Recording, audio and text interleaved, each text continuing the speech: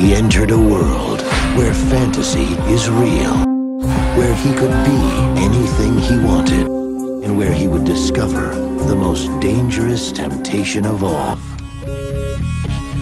At the Moulin Rouge,